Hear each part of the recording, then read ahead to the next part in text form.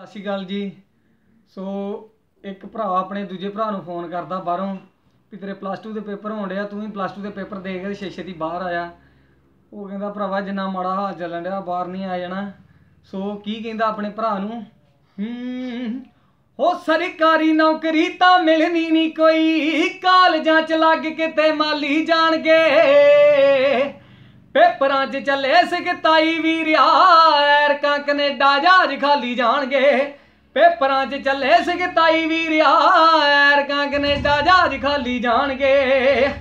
ਉਹ ਸੋਚਿਆ ਸੀ ਜਾ ਕੇ ਗੋਰੀਆਂ 'ਚ ਬੈਠ ਜਾਵਾਂਗੇ, ਫੋਟੋਆਂ ਖਿਚਾ ਕੇ ਪਿੰਡ ਵਾਲਿਆਂ ਨੂੰ ਪਾਵਾਂਗੇ। ਉਹ ਸੋਚਿਆ ਸੀ ਜਾ ਕੇ ਗੋਰੀਆਂ 'ਚ ਬੈਠ ਜਾਵਾਂਗੇ, ਫੋਟੋਆਂ ਖਿਚਾ ਕੇ ਪਿੰਡ ਵਾਲਿਆਂ ਨੂੰ ਪਾਵਾਂਗੇ। ਉਹ ਕਾਂਗਰਸ ਤੋੜ ਗਈ, ਆਖਾ ਖਾਬ ਸਿਮਿਆ ਹੁਣ ਤਾਂ ਜਿਤਾਏ ਫੇਰ ਕਾਲੀ ਜਾਣਗੇ। ਉਹ ਪੇਪਰਾਂ 'ਚ ਚੱਲੇ ਸਿਕਤਾਈ ਵੀਰਿਆ ਐਰਕਾਂ ਕੈਨੇਡਾ ਜਹਾਜ਼ ਖਾਲੀ ਜਾਣਗੇ।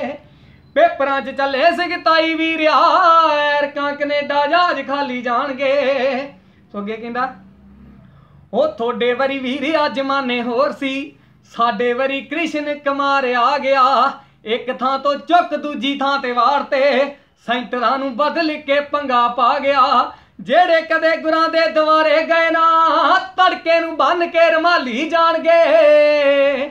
ਉਹ ਪੇਪਰਾਂ 'ਚ ਵਜੇ ਨਾ ਨਕਲ ਵੀਰਿਆ ਐਰਕਾਂ ਕੈਨੇਡਾ ਜਹਾਜ਼ ਖਾਲੀ ਜਾਣਗੇ।